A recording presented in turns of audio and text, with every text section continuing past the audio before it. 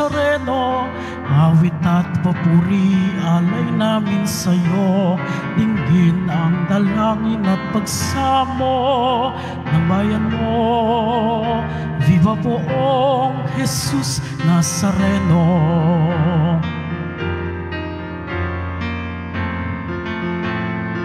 Tayo ngayon ay magtipon at sambahin ang poon. Tayo sa ating debosyon, purihin ang Panginoon. Viva poong Jesus Nazareno, awit at papuri, alay namin sa'yo. Dinggin ang dalangin at pagsamo ng bayan mo. Viva poong Jesus Nazareno.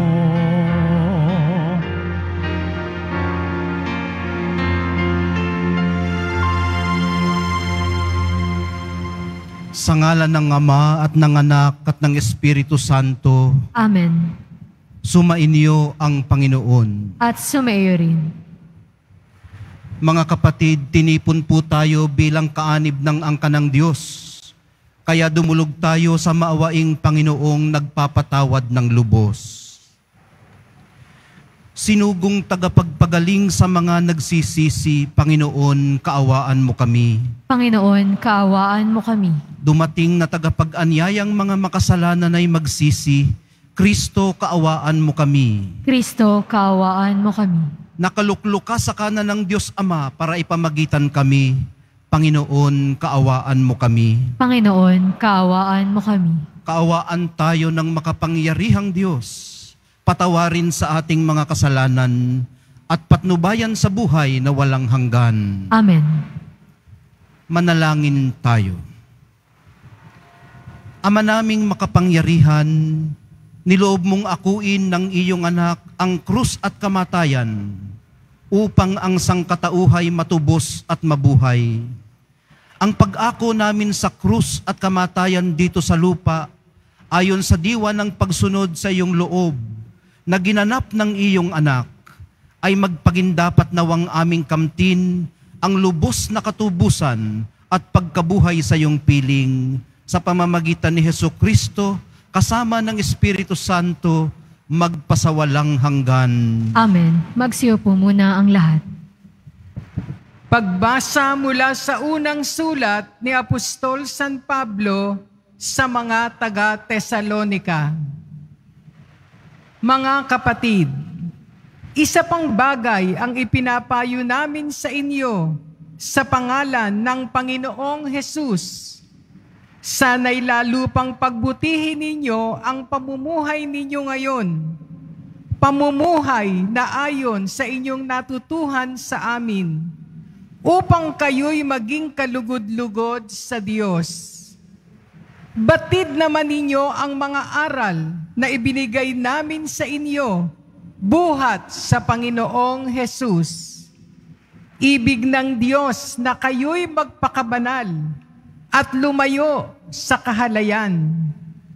Dapat maging banal at marangal ang layunin ng sinuman sa kaniyang pag-aasawa at hindi pagsunod lamang sa pita ng laman tulad ng inaasal ng mga taong hindi nakakakilala sa Diyos. Sa gayon, hindi yuyurakan ninuman ang karapatan ng kanyang kapwa, ni pupugayan man ng dangal. Tulad ng sinabi namin sa inyo noon pa, at mahigpit na ibinabala, parurusahan ng Panginoon ang gumawa ng ganitong kasamaan. Tayo'y tinawag ng Diyos upang mamuhay sa kalinisan, hindi sa kahalayan. Kaya ang sino mang humamak sa aral na ito ay humahamak hindi sa tao, kundi sa Diyos na siyang nagkakaloob sa atin ng kanyang Espiritu Santo. Ang salita ng Diyos. Salamat sa Diyos.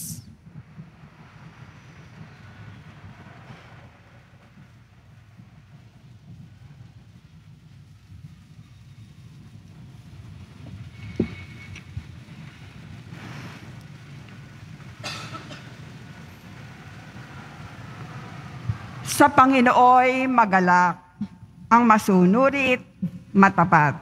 Sa Panginooy magalak, ang masunurit, matapat. Ang poon ay magahari, magalak ang kalupaan. Lahat kayong mga pulo ay magsaya at magdiwang. Karihan niya'y tapat at salig sa katarungan. Sa Panginooy magalak, ang masunurit, matapat. Yaong mga kabundukay natutunaw parang pagkit sa harapan ng dakilang Panginoon ng daigdig. Sa langit ay nahahayag yaong kanyang katuwiran. Sa lupa ay makikita ang kanyang kadakilaan. Sa Panginooy magalak, ang masunurit, matapat. Ang lahat ng namumuhi sa masamay mahal ng Diyos at siya ang nag-iingat sa buhay ng mga lingkod. Ililigtas niya sila sa kamay ng mga buktot. Sa Panginooy magalak, ang masunurit, matapat. Sa tapat ang pamumuhay ay sisinag ang liwayway. Sa dalisay namang puso, magahari kagalakan.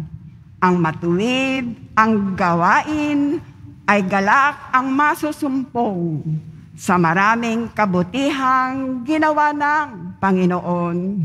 Ang ganawa niyang ito'y dapat nating gunitain at sa poon ay yukol ang papuring walang maliw. Sa Panginooy magalak, ang masunurit, matapat. Magsitayo po ang lahat.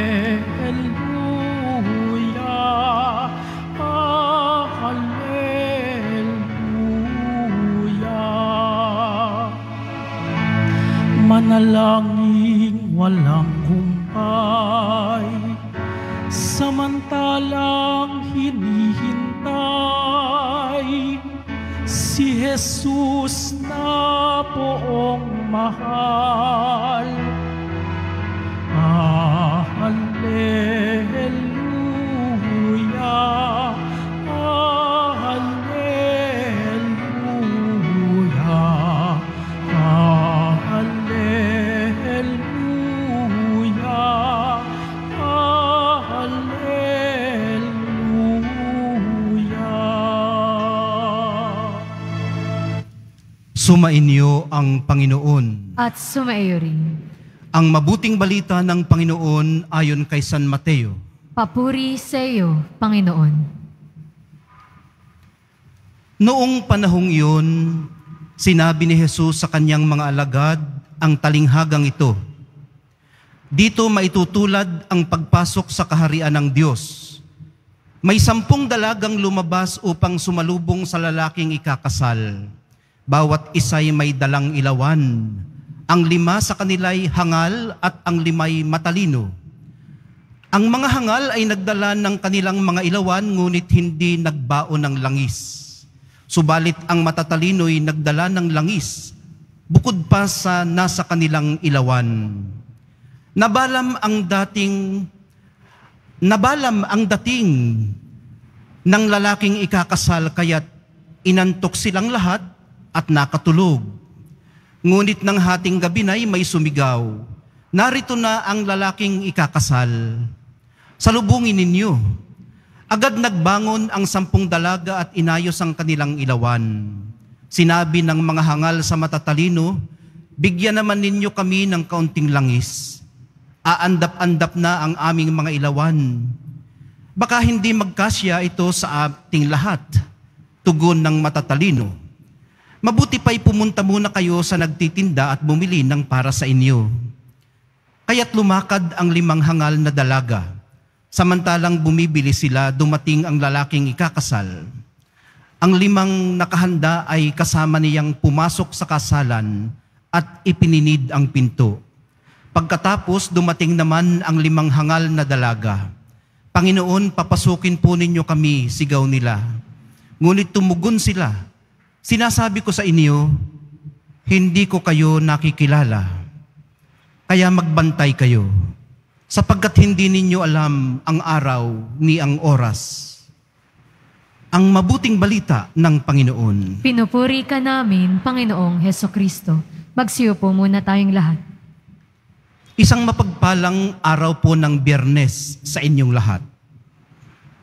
September 1 na po ngayon at first Friday ng mga Burr months. Sinasalo po natin at wini-welcome ang isa't isa sa malwalhati nating pag-uwi dito sa tahanan ng mahal na poong Jesus Nazareno. Magbantay kayo gaya ng matatalinong dalagang naghihintay sa lalaking ikakasal. Tagubilin niya sa kanyang mga alagad dahil hindi nila nalalaman kung kailan babalik ang Panginoon. Sa pagnanais niyang ipaintindi ito sa kanila, gumamit na rin siya ng talinghaga. Bagamat kung sila ang kausap niya, karaniwan ay diretsohan, plain speech, walang paligoy-ligoy. Talinghaga ng sampung dalaga ang kanyang ikinuwento sa kanila. May matatalino at may mga hangal. Yung mga matatalino ay hindi nag-share ng kanilang langis sa mga hangal. Bakit naman kaya ayaw nilang mag-share ng oil? Anyway, ang point po ay ang pagiging handa. Lalo na sa mga challenges ng buhay. Habang naghihintay ng muling pagbabalik ng Panginoon. Hindi natin alam kung kailan ito. Kaya ang payo niya ay gugulin ang ating buhay sa paghahanda para rito. Paano po ba tayo magpe-prepare habang naghihintay? Gaya po ng halimbawa ng wise virgins sa pamamagitan ng pagiging tapat sa ating pananalig. Tayo maghihintay. Alam nila na kailangang pangalagaan ito kaya kinakailangan ding patuloy itong i-replenish. Alin pong ito? Yung pananalig habang naghihintay. Dahil nauubos din po ito, numinipis. Pinanghihinaan tayo ng pananalig. Lumulupaypay. Kung ang langis na ito ay kumakatawan sa pananampalataya, nano-nurture din po ito sa pamamagitan ng palagiang pananalangin na siya namang magpapalalim ng ating tiwala at pakikipag-ugnayan sa Kanya sa ating mahal na poong Jesus Nazareno. So may katwiran nga pala ang matatalinong dalaga kung bakit hindi sila nag-share ng kanilang langis. Kung ang langis ay kumakatawan sa pananalig, hindi nga nilo, hindi nga nila ito may bibigay sa mga hangal na dalaga. One cannot have faith for another person. Kaya ang magagawa nga lamang nila ay ituro kung paano masasalinan ang kanilang lampara. Ay paano naman yung tinatawag na faith sharing? Di ba sa mga BEC mayroong tinatawag na faith sharing? Sa faith sharing po mga kapatid, ibinabahagi ng isa kung paano niya nararanasan ng Diyos at kung paano niya nakikita ang kanyang sarili sa presensya ng Diyos sa diwa ng pananampalataya nang may paniniwalang what's very personal can be very universal. Kung may nakikinig sa kanyang sharing na walang pananalig, hindi maaaring manalig siya para sa kanya. Ito'y isang kaloob na ang Diyos lamang ang makapagbibigay. Ang counterpart natin ay tanggapin ito sa ating puso at diwa. Sa pagpapatuloy po ng ating pagdalangin, marahil ay ito ang magandang hilingin natin, i-expand ang ating kakayanang tumanggap at maihanda rin nawa natin ang ating kalooban sa aktibong pakikisangkot sa pagtataguyod ng kaharian ng Diyos. Paano ba konkretong magagawa ang aktibong pakikisangkot sa pagtataguyod ng kaharian ng Diyos. Sa pamamagitan po ng pagsasaayos ng sarili nating pamumuhay ngayon, gaya ng sinasabi ni Apostol Pablo sa mga taga Thessalonica, upang tayo ay maging kalugod-lugod sa Diyos. Ano pa? Ibig din daw po ng Diyos na tayo'y magpakabanal at lumayo sa kahalayan. Maging banal at marangal ang layunin. Sa madaling sabi, mamuhay sa kalinisan.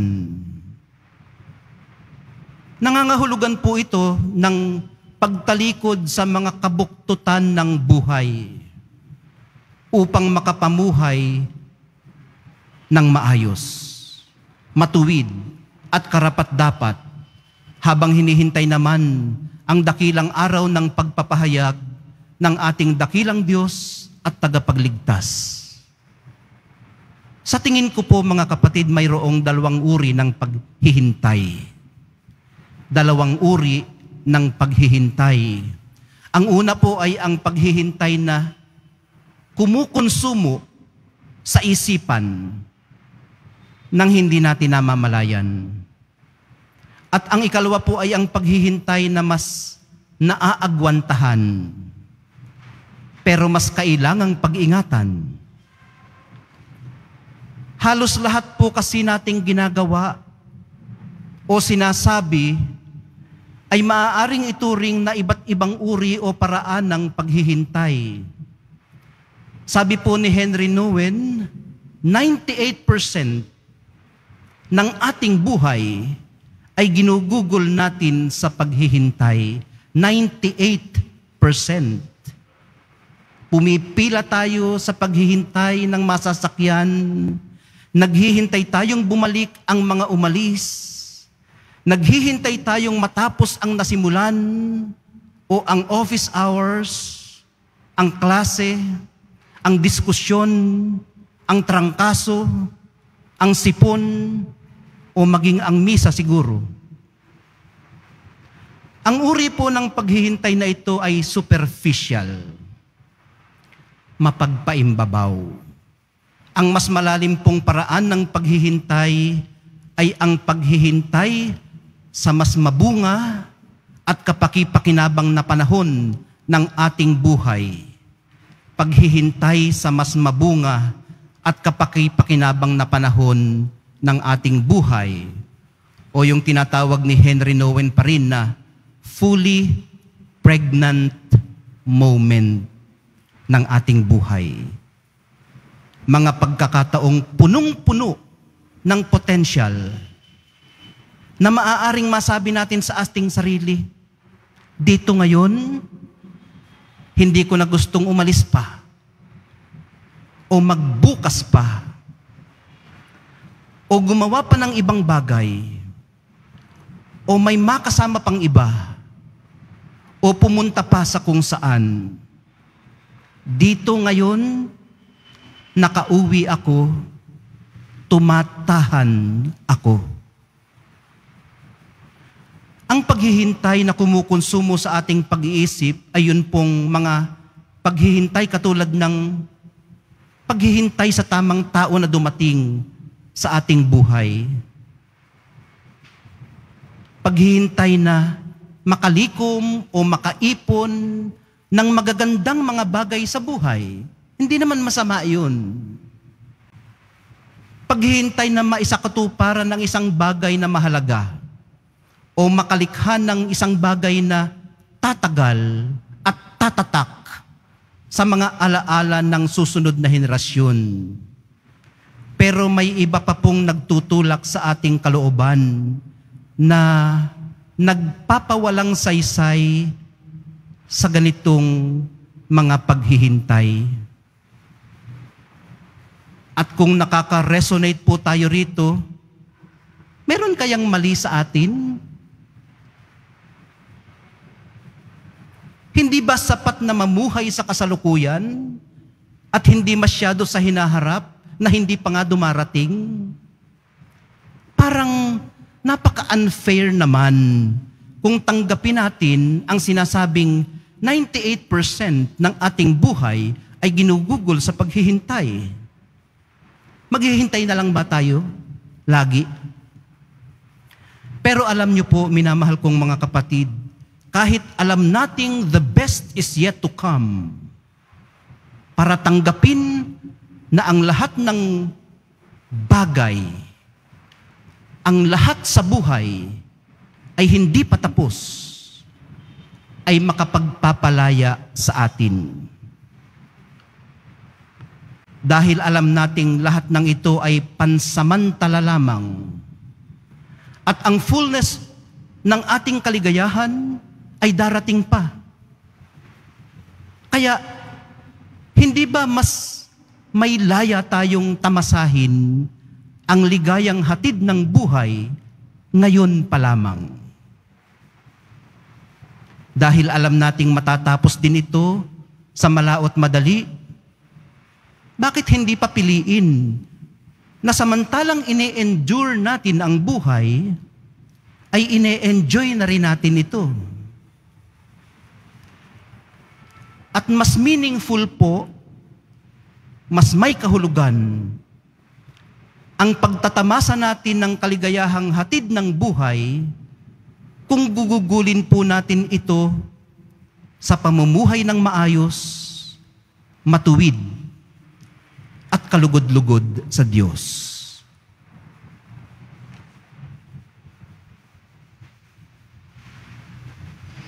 Magsitayo po ang lahat.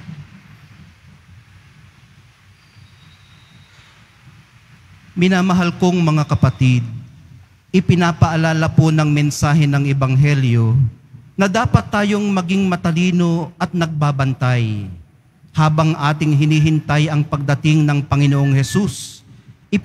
Ipanalangin po natin ang mundong kanyang iniligtas. Sa bawat pagdalangin, ang atin pong itutugon, Banal na Panginoon, gawin mo kaming tapat sa paglilingkod sa iyo. Banal na Panginoon, gawin mo kaming tapat sa paglilingkod sa iyo. ang simbahan naway maunawaan ang mga tanda sa ating panahon at tuwinang mapaalalahanan ang bayan ng Diyos tungkol sa walang hanggang dimensyon ng buhay. Manalangin tayo. Banal na Panginoon, gawin mo kaming tapat sa paglilingkod sa iyo. Ang mga kabataan naway manatiling umaasa at puno ng sigla sa buhay. Nawa ang kanilang matayog na adhikain ang siyang maging katig nila sa pagsasakatuparan ng mga dakilang bagay sa buhay. Manalangin tayo. Banal na Panginoon, gawin mo kaming tapat sa paglilingkod sa iyo. ang mga pinanghihinaan ng loob at nabigo sa buhay. Naway wag palalimin ang kanilang hinanakit at bagkos kumuha ng panibagong lakas at pag-asa mula kay Kristo na nangako sa atin ng kanyang presensya. Manalangin tayo. Banal na Panginoon, gawin mo kaming tapat sa paglilingkod sa iyo. Ang mga may sakit at mga nanghihingalo, naway tumingin kay Kristo na may pag-asa at may pagbabalik loob na pananampalataya. Manalangin tayo. Banal na Panginoon, gawin mo kaming tapat sa paglilingkod sa iyo. Ang mga yumao, naway makapiling ng Diyos sa kanyang walang hanggang kaharian. Manalangin tayo. Banal na Panginoon, gawin mo kaming tapat sa paglilingkod sa iyo. Ama ng panahon at ng kawalang hanggan, ipagkaloob mo ang aming mga kahilingan habang aming hinihintay ang pagbabalik ni Kristo, ang iyong biyaya ng walang hanggang katarungan at karunungan. Hinihiling po namin ito sa pamamagitan ni Kristong aming Panginoon. Amen. Magsiyo po ang lahat.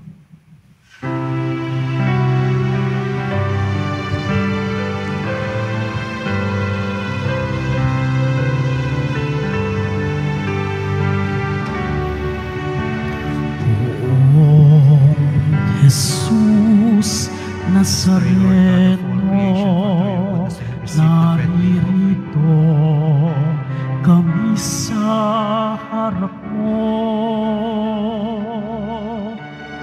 Alak at tinapay, alay namin sa'yo mula sa tangkay ng ubas at putil ng trigo upang maging dugo't katawan mo. Jesus Nazareno,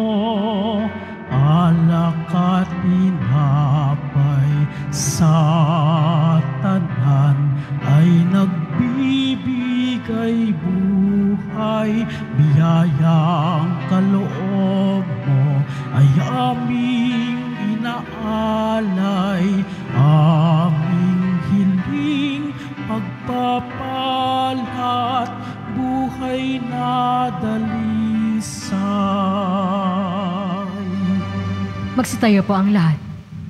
Manalangin kayo mga kapatid upang itong ating paghahain ay kalugnan ng Diyos amang makapangyarihan. Tanggapin nawa ng Panginoon itong paghahain sa iyong mga kamay, sa kapurihan niya at karangalan, sa ating kapakinabangan at sa buong sambayanan niyang banal. Ama naming lumikha, sa ikapagpapatawad ng mga kasalanan, maganap nawa ang paghahaing ito na sa dambana ng krus ay siyang pumawi sa kasalanan ng buong mundo. Sa pamamagitan ni Heso Kristo, kasama ng Espiritu Santo, magpasawalang hanggan. Amen. Sumainyo ang Panginoon. At sumaiyo rin. Itaas sa Diyos ang inyong puso at diwa. Itinaas na namin sa Panginoon. Pasalamatan natin ang Panginoong ating Diyos. Marapat na siya ay pasalamatan. Ama naming makapangyarihan, tunay ngang marapat na ikaw ay aming pasalamatan. Iyong ipinasyang sa kahoy na krus, ang sangkatauhay tubusin ni Jesus. Sa punong kahoy, nagkapuwang ang kamatayan. Sa kahoy na krus, itinanghal ang pagkabuhay. Sa punong kahoy, nanaig ang sumuway sa iyo. Sa kahoy na krus, siya'y nadaig ng masunuring anak mo. Kaya kaisa ng mga anghel na nagsisiawit ng papuri sa iyo, nang walang humpay sa kalangitan, kami nagbubunyi sa iyong kadakilaan.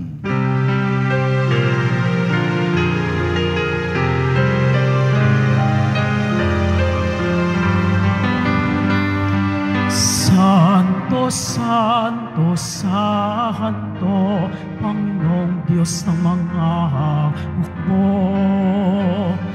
Napupuno ang langit at lupa ng kadakilaan mo. O sana, o sana, sa kaitaasan, pinagpala ang naparirito sa ngalan ng Panginoon. O sana, o sana, sa kaitaasan, sa Magsiluhod po ang lahat.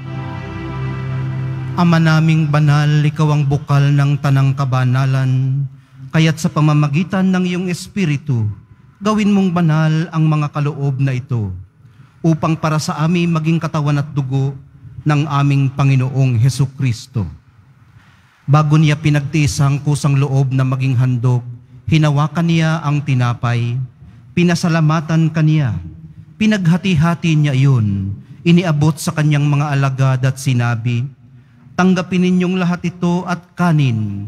Ito ang aking katawan na ihahandog para sa inyo.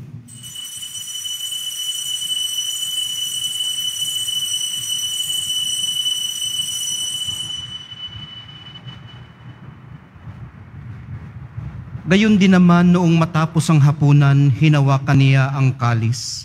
Muli kanyang pinasalamatan. Iniabot niya ang kalis sa kanyang mga alagad at sinabi, Tanggapin ninyong lahat ito at inumin. Ito ang kalis ng aking dugo, ng bago at walang hanggang tipan, ang aking dugo na ibubuhos para sa inyo at para sa lahat, sa ikapagpapatawad ng mga kasalanan.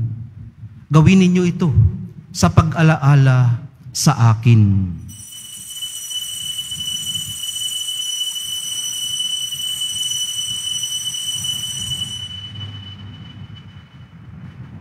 Magsitayo po ang lahat. Ipagbunyin natin ang misteryo ng pananampalataya. Si Kristo'y namatay, si Kristo'y nabuhay, si Kristo'y babalik sa wakas ng panahon. Ama, ginagawa namin ngayon ang pag-alala sa pagkamatay at muling pagkabuhay ng iyong anak, kaya't iniaalay namin sa iyo ang tinapay na nagbibigay buhay at ang kalis na nagkakaloob ng kaligtasan. Kami nagpapasalamat dahil kami iyong minarapat na tumayo sa harap mo para maglingkod sa iyo. Isinasamo namin kaming magsasalo-salo sa katawan at dugo ni Kristo ay mabuklod sa pagkakaisa sa pamamagitan ng Espiritu Santo. Ama, lingapin mo ang iyong simbahang laganap sa buong daigdig. Puspusin mo kami sa pag-ibig, kaysa ni Francisco na aming Santo Papa at ni Jose na aming arsobispot ng tanang mga obispot kaparian at ng iyong piniling sambayanan.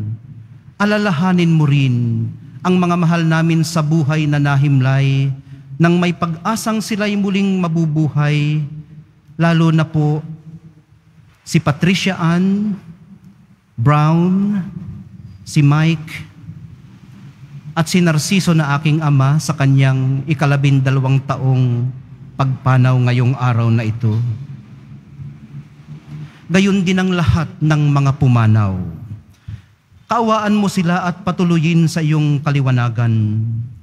Kaawaan mo at pagindapatin kaming lahat na makasalo sa iyong buhay na walang wakas. Kaisa ng mahal na Birheng Maria na ina ng Diyos, ng kabiyak ng puso niyang si San Jose, kaisa ng mga apostol at ng lahat ng mga banal ni San Juan Bautista na namuhay dito sa daigdig ng kalugod-lugod sa iyo. Maipagdiwang nawa namin ang pagpupuri sa ikararangal mo sa pamamagitan ng iyong anak na aming Panginoong Heso Kristo. Sa pamamagitan ni Kristo, kasama niya at sa Kanya, ang lahat ng parangal at papuri ay sa iyo, Diyos amang makapangyarihan, kasama ng Espiritu Santo, magpasawalang hanggan. Amen.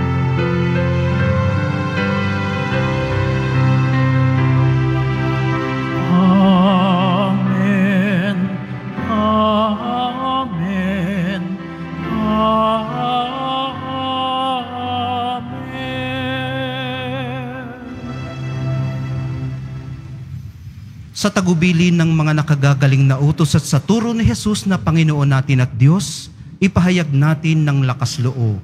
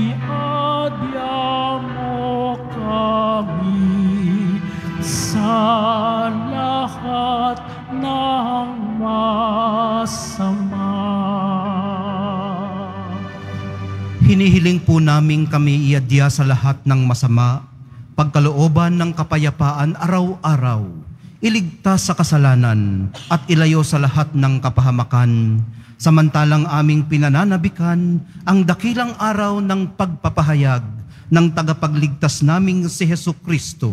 Sapagkat iyo ang kaharian at ang kapangyarihan at ang kapurihan magpakailanman. Amen. Panginoong Heso Kristo, sinabi mo sa iyong mga apostol, kapayapaan ang iniiwan ko sa inyo, ang aking kapayapaan ang ibinibigay ko sa inyo. Tunghayan mo ang aming pananampalataya at huwag ang aming pagkakasala. Pagkalooban mo kami ng kapayapaan at pagkakaisa ayon sa iyong kalooban, kasama ng Espiritu Santo, magpasawalang hanggan. Amen. Ang kapayapaan ng Panginoon ay laging sumainyo. At sumaiyo rin. Magbigayan po kayo ng kapayapaan sa isa't isa. Kordero ng Diyos na nag-aalis ng mga kasalanan ng sanlibutan, maawa ka sa amin. Kordero ng Diyos na nag-aalis ng mga kasalanan ng sanlibutan, maawa ka sa amin. Kordero ng Diyos na nag-aalis ng mga kasalanan ng sanlibutan, ipagkaloob mo sa amin ang kapayapaan. Magsiluhod po ang lahat. Minamahal kong mga kapatid, nasa presensya tayo ng Kordero Diyos na nag-aalis ng mga kasalanan ng sanlibutan, mapapalad ang mga inaanyayahan sa piging ng Kordero. Panginoon, Panginoon, hindi hindi ako, ako karapat-dapat na magpatuloy sa iyo. Ngunit sa isang salita mo lamang ay gagaling na ako.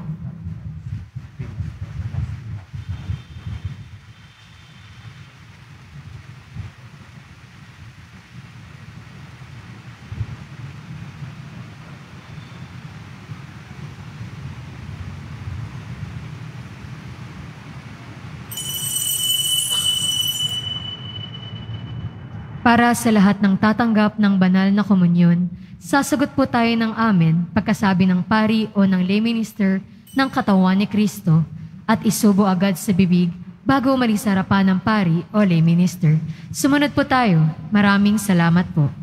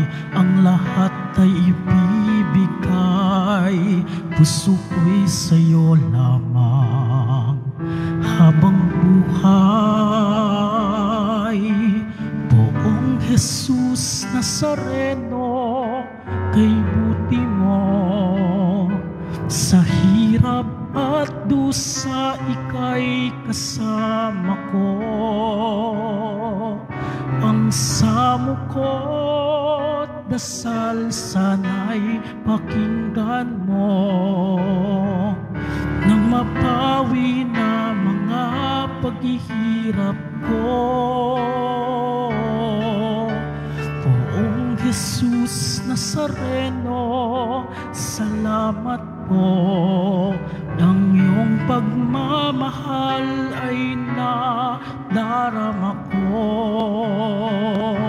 Ngayon at magpakailanman, ika'y pupurihin ko. Mahal na poong Jesus Nazareno.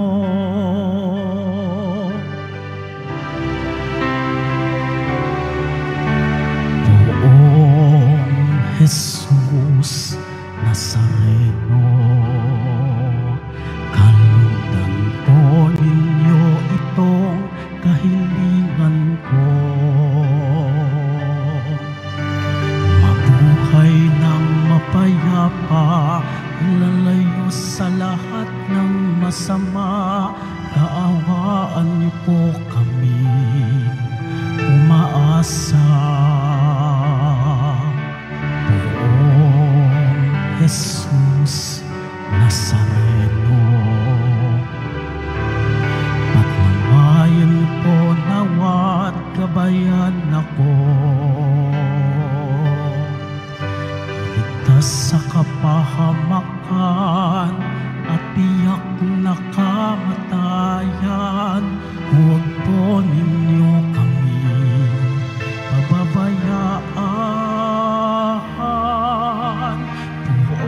Jesus Nazareno Kay buti mo Sa hirap at dusa ika'y kasama ko. Ang samo ko't dasal sana'y pakinggan mo. Nang mapawi na mga paghihirap ko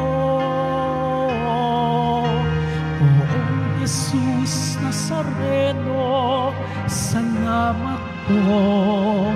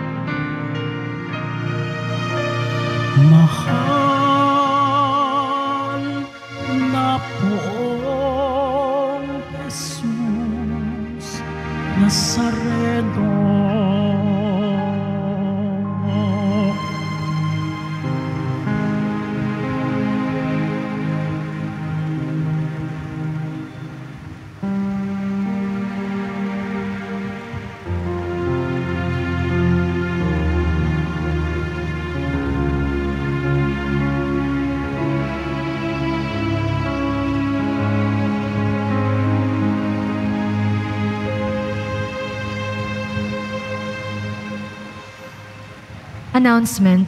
Magkakaroon po tayo ng second collection para sa Disaster Relief Fund na ipantutulong ng ating simbahan sa mga naapektuhan at nasalanta ng mga sakuna at kalamidad.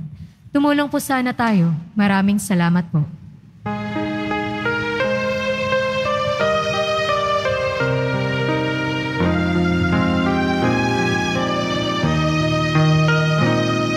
Walang sino man ang nabubuhay ay para sa sarili lamang. Walang sinuman ang namamatay para sa sarili lamang. Tayong lahat ay may pananagutan sa isa't isa.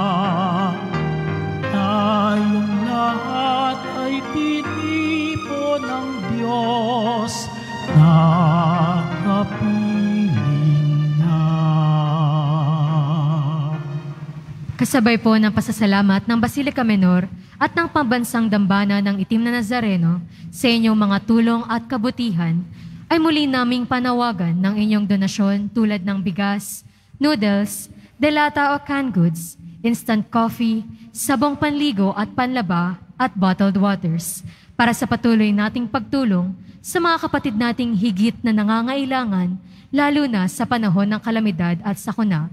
Maraming salamat po sa inyong suporta. Pagkatapos ng misa, wiwisikan po ang lahat ng banal na tubig. Pinakikiusapan ang lahat na manatili lamang muna sa inyong mga lugar.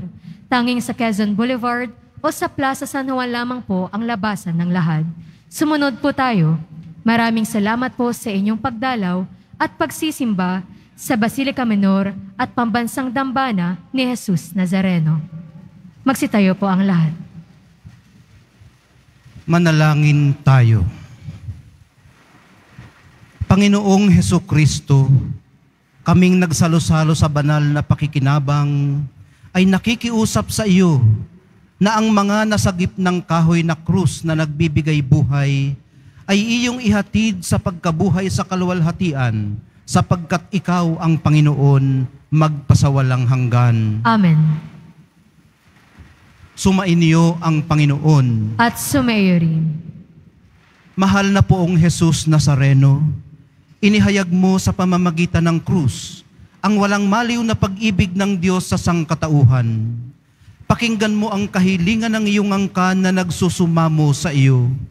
Makamtanawa nila ang inyong katugunan at tanggapin ang kasagutan na may utang na loob na tinatanaw.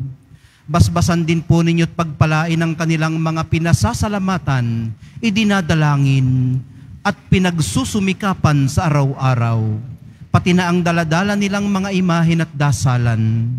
Sa pamamagitan ng bendisyon na ito, naway maalala nila ang mga pangako nila noon sa binyag, na ikaw ang kanilang iibigin at paglilingkuran bilang Panginoon, magpasawalang hanggan Amen. At pagpalain kayong lahat at ang inyong pamilya at mga komunidad ng makapangyarihat mapagmahal na Diyos, Ama, Anak, at Espiritu Santo, Amen. naialay na po natin ang banal na misa, humayo kayong taglay ang kapayapaan, pag-ibig at pag-asa ng mahal na poong Jesus Nazareno. Salamat sa Diyos.